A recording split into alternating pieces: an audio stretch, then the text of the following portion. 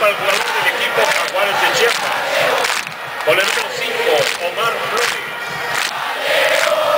El Heraldo de Puebla, el diario de los poblados.